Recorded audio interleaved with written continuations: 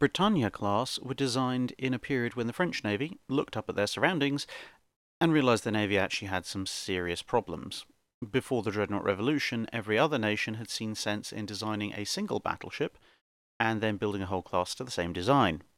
By contrast, partially due to some strange ideas about design, and partially due to a somewhat corrupt system that meant every company in an industry had to get some part of the contract, the French had built what was called the Fleet of Experiments, a series of effectively handcrafted artisan battleships where none were alike. Even an attempt at building a single class had left them with three unique ships that were never fully quite compatible. Whilst they eventually mostly fixed this, it meant that by 1910 France had precisely zero dreadnoughts in service or under construction. By contrast, the British had 10 plus 5 battle cruisers, Germany had 8 and 1, and the United States 6 and 1. They finally got around to building their first dreadnoughts, the Courbet class, but desperately needed more ships. Unfortunately, the Courbets were about as big a ship as you could build in 1910 era France, and so the new design would have to be based on them. There was a desire to arm the ships with 13.4 inch guns, but with the same turret layout as Courbet, the weight was too much. Luckily, someone realised that wing turrets were a silly idea, and by putting a single centerline turret in, you could still have a 10 gun broadside without the need for six turrets. Therefore, the ships had 10 13.4 inch guns in five twin turrets, a pair superfiring forward, a pair superfiring at the rear, and one right in the middle. 22 secondary guns of 5.5 inch caliber were joined by four 47mm guns and four torpedo tubes to complete the armament. With a speed of 20 knots, they were somewhat slow, despite their rather thin 11 inch belt armour, although the French were not quite able to resist the urge to tinker, so each ship had a different number of boilers, each from a different manufacturer. Four ships were laid down the Bretagne, the Lorraine, the Provence, and the Vasilefs Konstantinos. Uh, that last one doesn't sound French. That's because it isn't. The Greek navy desperately wanted battleships and had come up with a cunning plan. They knew France and Germany hated each other, so they reasoned if they ordered a battleship from each side, then at least one of them would deliver. However, events turned against them, as it so often does with the Greek navy, because France and Germany promptly went to war with each other and abandoned both ships on the slipways. They should have gone to the British, really. They might have taken the ships away to fight Germany, but at least they would have gotten them back afterwards.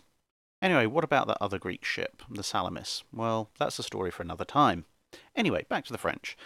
All three ships entered service in 1916 and became the leading ships of the French fleet. Mostly, they spent their time deterring the Austro Hungarian fleet from coming out of harbour, although in a bout of painful irony, the Provence was frequently used to intimidate the Greek government away from supporting Germany. After the First World War, the French had to cut their naval budget, and only Bretagne remained in active service the whole time. But as finances improved, all three came back into service, and the French desire to tinker and customise re emerged. Each ship would therefore receive different numbers of oil-fired boilers to improve their performance, as well as slightly different changes to their turbines. All of them got tripod masts, although again, always to slightly different layouts. Lorraine had her centre turret taken out in 1935 and replaced with an aircraft catapult and hangar. By the outbreak of the Second World War, they were, inevitably, each almost custom made battleships. I guess some old habits really just stick. Just for good measure, they would also receive different anti-aircraft fits in stages throughout this period with a variety of 8mm machine guns, 13.2mm heavy machine guns, 20, 40 and 75mm cannon and 3.9-inch anti-aircraft guns in exchange for varying numbers of 5.5-inch secondary guns being removed. Once in the war, the Provence spent time hunting for raiders, Bretagne had fun escorting convoys, and Lorraine joined Force X, ready for heavy combat. In 1940, the Bretagne was sent to join Provence. It would be a somewhat fateful decision. By June 1940, France was on the verge of falling to the Nazi invasion, and there was serious concern in the UK that the Germans might seize the French fleet. By July, a British force had arrived at the French port of Mers el Kebir with an ultimatum. This was quite detailed and had many options to it, but thanks to some truly stupendous idiocy by the French admiral in charge, it was transmitted to the French government as simply join us or scuttle yourselves. which quite understandably was rejected. Not quite realising this, however, the British took the French refusal to mean they weren't interested in any of the neutral options either and felt they had to open fire.